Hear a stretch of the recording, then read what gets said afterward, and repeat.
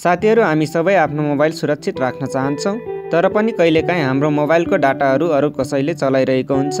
इक्जाम्पलको लागि जस्तै तपाईँको प्राइभेट मेसेजेस फोटोज त्यसै गरी फेसबुक च्याट्स र त्यसै गरी तपाईँको कन्ट्याक्ट्सहरू रहेका हुन्छन्। त्यसैले साथीहरू आज म तपाईँहरूको लागि यस्तो मोबाइल एपको बारेमा भन्न गइरहेको छु। जसबाट तपाईँले आफ्नो मोबाइलमा राख्नुभएको private photos messages Facebook chats त्यसै गरी कन्ट्याक्ट्सहरूमा लक लाउन सक्नुहुनेछ। र साथीहरू यो एप धेरै नै सजिलो र राम्रो रहेको छ। साथीहरू हामी सबैले आफ्नो मोबाइलमा लक लाउन धेरै नै जरुरी रहेको छ। नमस्कार साथीहरू म हो सुमन र स्वागत छ तपाईँहरूलाई सुमन चौधरी च्यानलमा। साथीहरू अब चाहिँ म तपाईँहरूलाई आफ्नो मोबाइलमा रहेको म्यासेज फोटोज र कन्ट्याक्टलाई कसरी लक गर्न सकिन्छ त्यसको बारेमा भन्न गइरहेको छु। र त्यसको लागि पहिला चाहिँ तपाईँ आफ्नो मोबाइलमा जानुहोस्। र मोबाइलमा गइसकेपछि तपाईँले एप्लिकेसनलाई खोल्नुपर्ने हुन्छ र त्यसको लागि एप्लिकेसनमा क्लिक गर्नुहोस्। र साथीहरू अब चाहिँ तपाईँले यसलाई स्लाइड गर्नुपर्ने हुन्छ र यसलाई स्लाइड गर्नुहोस्। र साथीहरू यहाँनिर तपाईँले सेटअप पासवर्ड भन्ने अप्सन देख्न सक्नुहुन्छ त्यसमा क्लिक गर्नुहोस्। र यहाँनिर तपाईँले विभिन्न अप्सन्सहरू देख्न सक्नुहुन्छ टू थ्री फोर फाइभ र यसबाट तपाईँले एउटा सेलेक्ट गर्नुपर्ने हुन्छ। र यदि तपाईँले टू सेलेक्ट गर्नुभयो भने तपाईँले आफ्नो मोबाइलको भोल्युम बटनलाई दुईचोटि थिच्नु होला र यहाँनिर म चाहिँ टुलाई सेलेक्ट गर्छु र अब चाहिँ म मोबाइलको भोल्युम बटनलाई दुईचोटि थिच्छु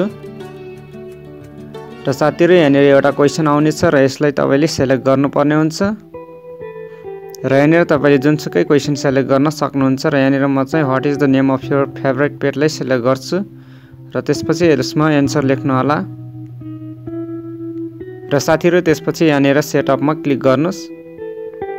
र क्लिक गरिसकेपछि यहाँनिर enter your volume key pattern to open main application भनेको छ र साथीहरू तपाईँले जतिचोटि पासवर्ड हाल्नु भएको छ त्यति नै चोटि तपाईँले भोल्युम बटनलाई थिच्नु होला र यहाँनिर तपाईँले आफ्नो मोबाइलमा रहेको विभिन्न एप्लिकेसन देख्न सक्नुहुन्छ र यहाँबाट तपाईँले लक गर्नुपर्ने हुन्छ। र यहाँनिर तपाईँले लकको अप्सन देख्न सक्नुहुन्छ र यसमा म चाहिँ लक गर्न गइरहेको छु। र लक गर्नको लागि म यहाँनिर कन्ट्याक्ट्सलाई चुज गर्छु। र साथीहरू यहाँनिर तपाईँले तिनवटा अप्सन देख्न सक्नुहुन्छ। एउटा ब्ल्याक त्यसै गरी ट्रान्सपेरेन्ट र अर्को भनेको कस्टम रहेको छ। र साथीहरू यदि तपाईँले ब्ल्याकलाई चुज गर्नुभयो भने तपाईँको स्क्रिन चाहिँ ब्ल्याक हुनेछ र कालो देखिनेछ। र त्यसै गरी यदि तपाईँले ट्रान्सपेरेन्टलाई चुज गर्नुभयो भने तपाईँको स्क्रिन देखिनेछ तर क्लिक चाहिँ हुने छैन। र यदि तपाईँले कस्टम चुज गर्नुभयो भने तपाईँले इमेजहरू हाल्न सक्नुहुनेछ। र यहाँनिर म चाहिँ तपाईँलाई तिनटै अप्सन देखाउनेछु।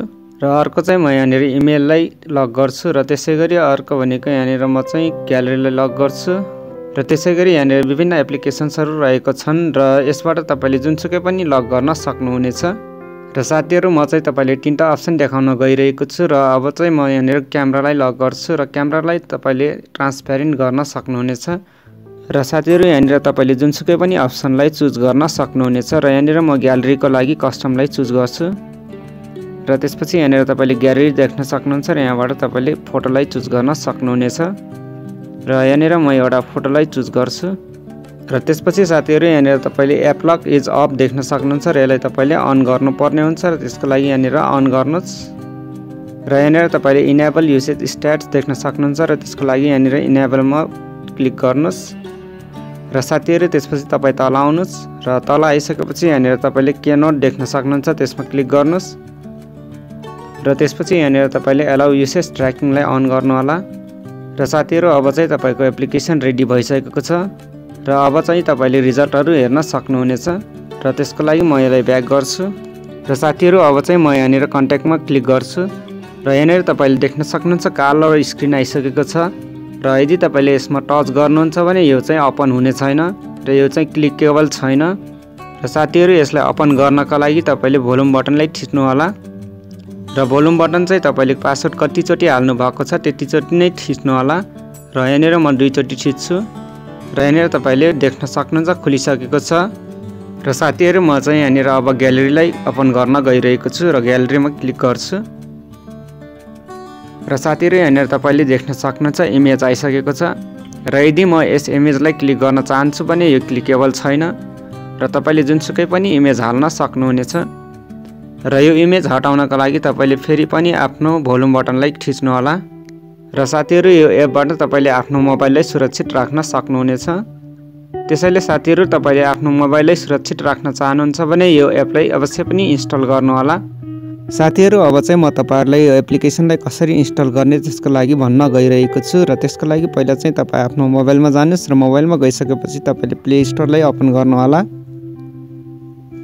र प्ले स्टोर ओपन भइसकेपछि यहाँनिर तपाईँले ओप्स लेख्नु होला। ओप्स एप्स लक र यदि तपाईँले ओप्स एप लक लेख्नुभयो भने तपाईँको एप्लिकेसन आउनेछ। र त्यसपछि यहाँनिर तपाईँले देख्न सक्नुहुन्छ यसको एमबी रहेको छ थ्री पोइन्ट फाइभ एमबी र त्यसै गरी यसको रेटिङ रहेको छ फोर पोइन्ट फोर र यसको डाउनलोड्स रहेको छ वान मिलियन प्लस डाउनलोड्स र यो धेरै नै राम्रो एप रहेको छ। र तपाईँले यो एपलाई अवश्य पनि मन पराउनु हुनेछ र अब चाहिँ तपाईँले यसलाई इन्स्टलमा क्लिक गर्नु होला। र साथीहरू यदि तपाईँ प्ले स्टोरमा जान चाहनुहुन्न भने तपाईँले यसको लिङ्क डिस्क्रिप्सनमा पाउन सक्नुहुन्छ र त्यसबाट तपाईँले इन्स्टल गर्न सक्नुहुनेछ। र साथीहरू यदि तपाईँलाई यो भिडियो राम्रो लागेको छ भने लाइक गरिदिनु होला र त्यसै गरी साथीभाइहरूलाई सेयर गरिदिनु होला र सब्सक्राइब गरिदिनु होला। धन्यवाद।